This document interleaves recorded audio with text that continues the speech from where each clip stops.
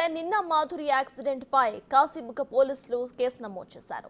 అయితే పలాస లక్ష్మీపూర్ టోల్ దగ్గర మాధురి కారు ఢీకొట్టడంతో ఒడిశాకు చెందిన వాహనం ఒకటి ప్రమాదానికి గురైంది. ఇందుకే మాధురి కారు ఢీకొట్టిన వాహనం ఎవరిది? అందులో అసలు ఎవరున్నారు? వారేమంటున్నారో మా ఎగ్జిక్యూటివ్ ఎడిటర్ అశోక్ అందిస్తారు. అన్న ఇంకా కనటాలి కనటాలి కనటాలి చెప్తా ఒకసారి బయట వేస్తున్నాను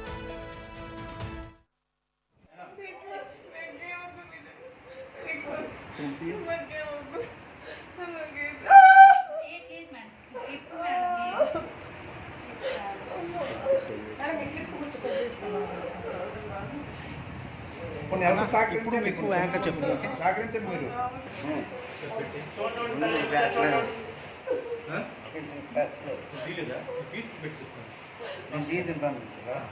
సహకరించండి మేడం పర్లేదు పర్లేదు. రైట్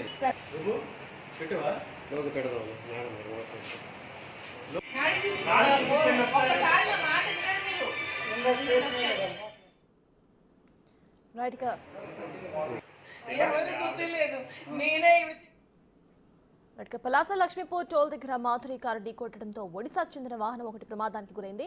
మాధురి కారు ఢీకొట్టిన వాహనం ఎవరిది? అందులో ఎవరున్నారు? వారేమంటున్నారో మా ఎగ్జిక్యూటివ్ ఎడిటర్ అశోక్ అందిస్తారు. అశోక్. మాధురిది యాక్సిడెంట్ అనుకున్నారు అంతా కూడా ఒకవేళ టెక్కలిలో వెళ్తున్న సందర్భంలో మధ్యలో ప్ర- ప్రమాదవశాత్తు యాక్సిడెంట్ జరిగిందేమోనని భావించారు. కానీ అనూహ్యంగా హాస్పిటల్కి వెళ్ళిన తర్వాత మాధురి స్వయంగా మీడియా ముందు చెప్పింది ఇది యాక్సిడెంట్ కాదు నేనే గుద్దాను అంటూ. నేనే కావాలని గుద్దేశాను అంటూ. అంటే ఆత్మహత్య చేసుకోవాలన్న ఉద్దేశంతో నేను ఇంకో కారుని గుద్దాను. వాస్తవానికి లారీని గుద్దుదాం అనుకున్నాను కానీ ఎదురుగా కారు కనపడింది కాబట్టి ఈ కారును గుద్దానంటూ ఆమె స్వయంగా స్టేట్మెంట్ ఇచ్చింది. దీంతో పోలీసులు కూడా తలలు పట్టుకునే పరిస్థితి కనిపిస్తోంది. మొదటి యాక్సిడెంట్ అనుకుంటే యాక్సిడెంట్ కేసు కింద నమోదు చేసేవారు. అక్కడ ఆవిడ విక్టిమ్ అయి ఉండేవారు. కానీ ఇక్కడ నేనే ఇంకో కారును గుద్దానని స్వయంగా చెప్పిన నేపథ్యంలో దీన్ని ఏ కేసు కింద పరిగణించాలి? ఇది ఒక విధంగా చెప్పాలంటే ఎదుటి కారుని ఎదుటి కారులో ఉన్న వ్యక్తుల్ని చంపే ప్రయత్నం చేస్తే ఒకవేళ తాను చనిపోయేవాలనుకున్న ఉద్దేశంలో ఎదుటి కారుని కుదటం ద్వారా ఆ కారులో ఉన్న వ్యక్తుల్ని చంపే ప్రయత్నం చేస్తే అది అత్యాయతనం కింద వస్తుంది ఖచ్చితంగా. కాబట్టి దీన్ని ఏ కోణంలో కేసులు నమోదు చేయాలి ఏ విధంగా క్రిమినల్ కేసులు నమోదు చేయాలన్న ఆలోచనలో ప్రస్తుతం పోలీసులు అయితే ఉన్నట్టుగా తెలుస్తుంది. సో మాధురి ఇచ్చిన ఈ స్టేట్మెంట్తో ఆ మానసిక పరిస్థితి ఏంటన్న దాని మీద కూడా విపరీతమైన డిస్కషన్ నడుస్తుంది. తాను చచ్చిపోవాలనుకుంటే ఇంకో కారును కుదటం ఏంటి? ఇంకో కారులో కూడా మనుషులు ఉంటారు కదా వాళ్ళ ప్రాణాలకి కూడా ఇబ్బంది కలుగుతున్న ఆలోచన కూడా మాధురికి లేకపోవడం అనేది ఇక్కడ ఆశ్చర్యం కలిగిస్తుంది. ప్రస్తుతం ఆమె గుద్దిన కారు ఆమె స్కొడా కారులో వెళ్తుంది. ఎదురుగా మారుతి ఇగ్నిస్ కార్ అంటే బ్లూ కలర్లో ఉన్న ఇగ్నిస్ చిన్న కారులో వేరే ఫ్యామిలీ వెళ్తోంది. ఆయన Orissa high court senior advocate Sudhakar garu. Orissa హైకోర్టులో సీనియర్ అడ్వకేట్గా ఉన్న సుధాకర్ గారు ఆయన ఫ్యామిలీతో కలిసి ఒరిస్సా వెళ్తున్న సందర్భంలో ఈవిడొచ్చి ఈ రకంగా గుద్దింది అదృష్టవశాత్తు. అదృష్టవశాత్తు ఆ ఫ్యామిలీ సుధాకర్ గారు బయటపడ్డారు. ప్రస్తుతం సుధాకర్ గారు అందరి డిస్కషన్ కూడా ఇప్పుడు వీళ్ళ మీదే ఉంది. అసలు రెండో ఎంతసేపు గుద్దిన మాధురిని మీడియాలో చూపిస్తున్నారు కానీ ఎవరి ఆవిడ వెళ్ళి ఏ కారునైతే గుద్దిందో ఆ కారులో ఉన్న వాళ్ళ పరిస్థితి ఏంటన్నది ఎంటైర్ స్టేట్ మొత్తం కూడా డిస్కషన్ జరుగుతుంది. అందుకనే బిగ్ టీవీతో మాట్లాడటానికి సుధాకర్ గారు సీనియర్ అడ్వకేట్ సుధాకర్ గారు ప్రస్తుతం మనకి లైవ్లో అందుబాటులో ఉన్నారు. సుధాకర్ గారు నమస్తే. హలో నమస్తే. అయ్యా నమస్తే. సుధాకర్ గారు నమస్తే అండి. అయ్యా నమస్తే. చెప్పండి సార్. హలో సుధాకర్ గారు. అయ్యా చెప్పండి. సరే నమస్తే. ఇవాళ మీరు అదృష్టం. బహుశా మీ సతీమణి చేసిన పూజల కారణంగా ఇవాళ మాతో లైవ్లో మాట్లాడే పరిస్థితిలో ప్రాణాలతో ఉన్నారేమో అనుకుంటున్నాం మేము. నిజమేనా? నిజమే నిజమే. ఎందుకంటే ఏ విధంగా ప్రమాదం జరిగిందో మేము మళ్ళీ బ్రతికి బయట పడతాం అనుకోలేదు. అందరు ముగ్గురు కూడాను నేను మా ఆవిడ తర్వాత డ్రైవర్ కూడాను సేఫ్గా బయటపడ్డాం. అంటే ఆ టైంలో మీరు ఎక్కడి నుంచి ఎక్కడి వరకు వెళ్తున్నారు? ఆ మేము ప్రమాదం ఎలా బ్రా- జరిగిందండి? బ్రాహ్మణ్ తర్ల ఒక పెళ్ళి అటెండ్ అవ్వడానికి వచ్చాం. అక్కడి నుండి రిటర్న్ అవుతున్నాం పలాస రిటర్న్ అవుతున్నప్పుడు దారిలో ఒక ఒక నిమిషం కారు ఆపాం. ఎందుకంటే గూగుల్ మ్యాప్లో మ్యాప్ చూద్దామని కరెక్ట్ అడ్రస్ వే చూద్దామని. అది ఆపినప్పుడు ఆపిన ఒక నిమిషంలోనే వెనక నుండి చాలా తీవ్రంగా చాలా అతివేగంగా ఒక కారు వచ్చి గుద్దేసింది. గుద్దేస్తే మా కారు కూడా తిరగబడిపోయింది. చాలా ప్రమాదకరమైన పరిస్థితుల్లో కారు బాగా డ్యామేజ్ అయిపోయింది. కారు వెనకాతల అద్దాలు అన్ని విరిగిపోయాయి. గుండె అయిపోయి ఆ దాంట్లోంచి మేము నెమ్మదిగా బయటపడ్డాం. మా ఆవిడకైతే చిన్న ఇంజురీ జరిగింది కానీ నాకు డ్రైవర్కి కూడా ఏమి ఇంజురీ జరగలేదు. మేము ఇద్దరు సేఫ్గా ఉన్నాం. ఆవిడకి ఇంజురీ జరిగింది. నిన్న హాస్పిటల్కి తీసుకెళ్ళాం. హాస్పిటల్లో దానికి స్టిచ్చెస్ గట్రా పడ్డాయి. పట్టిన తర్వాత సీజ్ నవ్ ఆల్సో నార్మల్.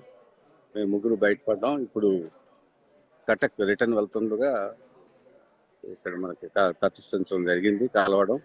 అందుకే ఈ విషయాలు నేను చెప్పగలుగుతున్నాను. సార్ అంటే ఆమె వచ్చి కారుతో మీ కారును గుద్దిన సమయంలో మీరు కారులోనే ఉన్నారండి దిగి నిలబడి ఉన్నారా బయట? కారులో కారులోనే ఉన్నాం. మేము కారులోనే ఉన్నాం. కారు ఆపి ఒక నిమిషం కూడా కాలేదు. ఆగి ఉన్నాం. అక్కడ నుంచి జస్ట్ కారులో కూర్చొని ఉన్నాం. వెనక నుండి తీవ్రంగా ఈ యాక్సిడెంట్ జరిగింది. జరగడం చేత చాలా ప్రమాదకరమైన పరిస్థితి జరిగింది. దాని తర్వాత నెమ్మదిగా ఎలాగో బయటపడ్డాం. కానీ ఇలాంటి వాళ్ళు ఆత్మహత్య చేసుకుంటుందని తర్వాత తెలిసింది మాకు. అలాంటప్పుడు మా కారే దొరికిందా అనిపిస్తుంది. ఏది జరిగినా ఇలాంటి ఇంత నెగ్లిజెంట్గా ఉన్న వాళ్ళకి మాత్రం కఠినమైన చర్య తీసుకోవాలి. అదే పోలీస్ స్టేషన్లో కూడా మేము రిపోర్ట్ ఇచ్చాం. దాన్ని బట్టి వాళ్ళు ఎలా యాక్షన్ తీసుకుంటారో చూద్దాం.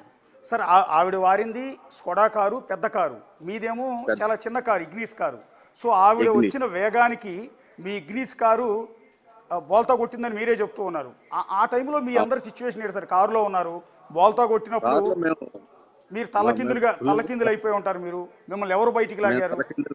తలకిందులు అయిపోయాం. ఫ్రంట్ సీట్లో నా బెల్ట్ కట్టుకొని ఉన్నాను కదా ఆ బెల్ట్ వల్ల కొంత రక్ష కలిగింది నాకు. మా ఆవిడ బ్యాక్ సీట్లో కూర్చుంది కాబట్టి పడిపోయింది. పడిపోయి అందుచేత ఇంజురీస్ జరిగాయి. నెమ్మదిగా ఎలాగో బయటపడ్డాం. అక్కడ మాకు ఫుల్గా సఫకేషన్. ఈ ఆ క్షణంలో ఏం జరుగుతుందో తెలియని పరిస్థితి. మొత్తం మీద ఎలాగో బయటపడ్డాం. మిమ్- మిమ్మల్ని ఎవరు బయటికి లాగారు సార్? మీరే డోర్లు తీసుకుని వచ్చారా? ఎవరన్నా వచ్చి సాయం చేశారా? చాలా చాలా జనం అక్కడ కుదిరారు. చాలా చేరారు డోర్స్ తీయడానికి మేము ప్రయత్నిస్తున్నాం. కానీ మొత్తం మీద ప్ర- ప్రజల సహాయం వల్లే మేము బయటికి రాగలిగాం. ఆవిడ వాడిన స్కోడా కార్కి ఎయిర్ బెలూన్స్ ఉంటాయండి. ఒకవేళ ఇన్ కేస్ యాక్సిడెంట్ అయినా బాల్తో కొట్టినా ఎయిర్ బెలూన్స్ ఓపెన్ ఆవిడ ప్రాణాలకి ఏమి ఇబ్బంది లేదు. ఇప్పుడు కూడా జరగలేదు. ఆవిడకి చిన్న గాయం కూడా కాల.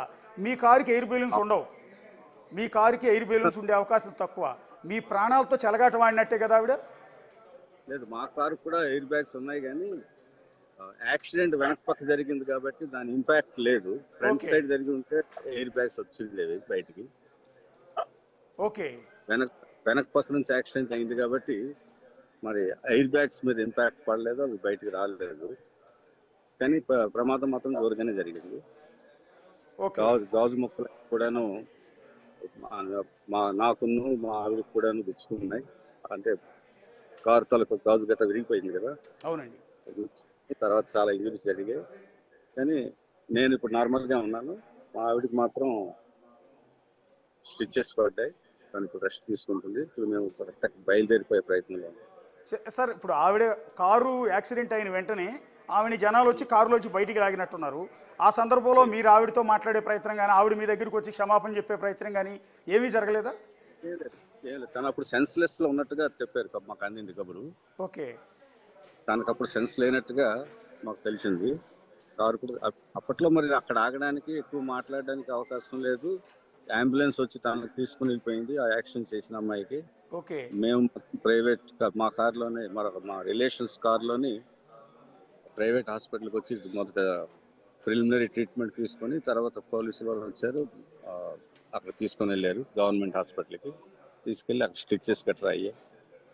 సార్ ఇక్కడ ఇక్కడ మీరు ఒక సీనియర్ అడ్వకేట్. మీరు మీకు తెలియని సెక్షన్లు లేవు. నేను అనుకోవటం మీరంత సీనియర్.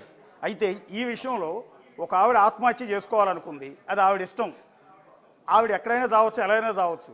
కానీ ఇంకొక ఇంకొకరి జీవితాలతో అంటే మీలాంటి వారి జీవితాలతో ఆటలాడుకునేలా మీ కారును గుద్ది ఆవిడ చచ్చిపోవాలనుకోవటం దీన్ని ఎలా చూస్తారు మీరు? ఆవిడని ఎలాంటి ఆవిడ మీద ఎలాంటి యాక్షన్ తీసుకోవాలనుకుంటున్నారు? ఆత్మహత్య చేసుకోవాలనుకోవడం ఒకరి ఇష్టం అని అంటే నేను ఒప్పుకోను. ఎందుకంటే అది కూడా అఫెన్సే attempt to commit suicide is also an offence అందుచేతను తను అందులో కూడా తను శిక్ష పడాలి తనకి. తర్వాత మా కార్కి నెగ్లిజెంట్గా యాక్సిడెంట్ చేసింది కాబట్టి దానివల్ల కూడా శిక్ష పడాలి.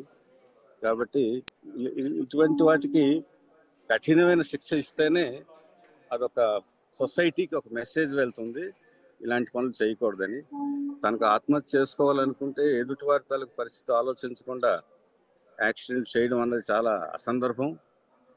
తను ఒకవేళ కానీ తనకు ఏదైనా ఇబ్బందులు ఉంటే తను సాల్వ్ చేసుకోవాల్సిన మార్గాలు వేరే ఉన్నాయి.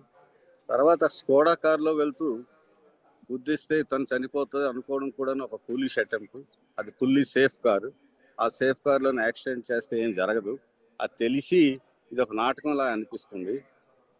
యాక్సిడెంట్ చేసుకోవాలనుకున్నారు స్కోడా కార్లో వెళ్ళరు. తను ఎలాగో ఏదో విధంగా ఏదో మార్గం తీసుకొని ఆత్మహత్య చేసుకోవాలనుకుంటారు కానీ ఫుల్గా ఒక సేఫ్ కార్లో వెళ్ళి యాక్షన్ చేసుకోవాలనుకోవడం చాలా ఇన్కన్సిస్టెంట్ అండ్ ఇంప్రాపర్ కాబట్టి నాకు అనిపిస్తుంది తనకి ఆత్మహత్య కంటేను పాపులారిటీ పెంచుకోవాలని ఉద్దేశం ఉందేమో తనకు తనకు పర్సనల్ ప్రాబ్లమ్స్ అన్ని హైలైట్ చేయాలనే ఉద్దేశమే ఎక్కువగా కనిపిస్తుంది. ఎదుటివారి ప్రేమ ప్రాణాలతో తనకేం సంబంధం ఉన్నట్టు కూడా నాకేం కనిపించడం లేదు. తన లోకమే తనది. ఎంత నష్టమైనా ప్రపంచం ఏమైపోయినా అవసరం లేదు. తన తాలూకా విషయమే హైలైట్ కావాలన్న ఇంటెన్షన్సే కనిపిస్తున్నాయి. ఏదైనా జరిగింది జరిగింది. విక్టిమ్స్ మేము అయిపోయాం కాబట్టి మేము ఏం చెప్పినా బాగుండదు. But it is a fact that she has done a very very unjust and improper thing మా కార్ డ్యామేజ్ అయింది మా ఆవిడకి ఇంజురీస్ అయ్యాయి. Who will pay for all these thing she should compensate high high damages should be levied on yeah పరిహారం అంటే ఏముంది sir? ఆవిడకి డబ్బులు చాలా ఎక్కువ ఉన్నాయి. నేను కారు మొత్తం రిపేర్ చేస్తానంటుంది హాస్పిటల్ బిల్లు కడతానండి ఇక్కడ అది కాదు కదా యాక్చువల్లీ ఇలాంటి ఇలాంటి వాళ్ళు ముగ్గురిని హత్య చేసే ప్రయత్నం కాదు ఇది. అంతే కదా సుమారుగా అదే అయింది. ఇప్పుడు ఎందుకంటే తనకి ఏ ఎలాంటి సేఫ్ కార్లో తను వస్తున్నో ఆ కార్లో యాక్సిడెంట్ చేసినా తనకేమీ జరగదన్న విషయం తనకు తెలుసు. She's a very literate lady she knows the safety features of the car